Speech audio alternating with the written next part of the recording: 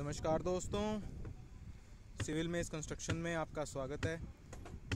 Last video में मैंने आपको बताया था कि जो नीचे पोलिथीन शीट प्लेस की हुई है, इसका नाम क्या? तो इसका नाम मेमरिंग होता है। ये हेल्प करती है आपकी सीपेज को रोकने में वाटर प्रूफिंग होती है इसमें।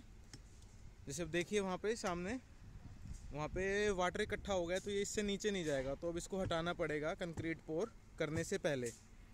तो ये मेमरिंग होती है, आपकी वाटर प्रूफ प्रोटेक्शन लेयर बन जाती है एक नीचे फुटिंग के, इसलिए इसको यूज़ किया जाता है। अब जो हमारी फुटिंग की हाइट है, ये 400 सौ mm है, डेढ़ फुट के आसपास इसकी हाइट है। प्लस जो रोड लेवल से हमारा नीचे ये जा रहा है बेस ये सिक्स मीटर से रोड लेवल से सिक्स मीटर नीचे है। अब यहाँ पे हमारी और सी सी वॉल कंस्ट्रक्ट हो रही हैं, जैसा आप देख रहे हैं।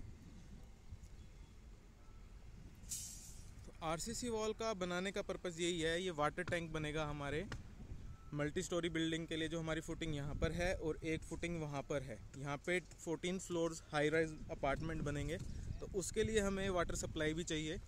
तो एक वाटर टैंक में हमारा डोमेस्टिक पर्पज़ के लिए वाटर सप्लाई रहेगा। एक वाटर टैंक के लिए हमारे पास फायर रेजिस्टेंस के लिए पानी सेव रहेगा, एक स्टोरेज रहेगा और एक परमानेंट सप्लाई के लिए रहेगा।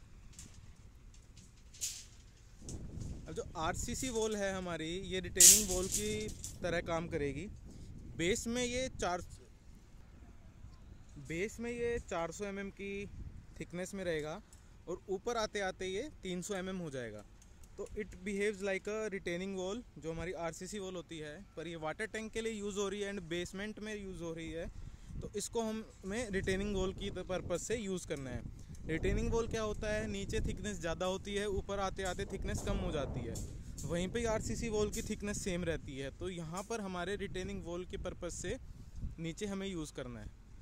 आरएमसी से आपका देखिए आरएमसी आ गया है रेडी मिक्स कंक्रीट जो होता है आरएमसी का प्लांट हमारा पीछे, इस बिल्डिंग के पीछे लगा हुआ है।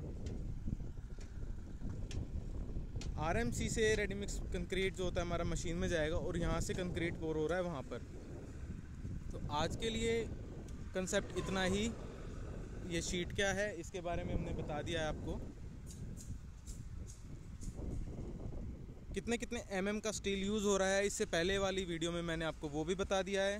तो अगर आपको स्टील का पता करना है तो इससे पहले वाली वीडियो देखें।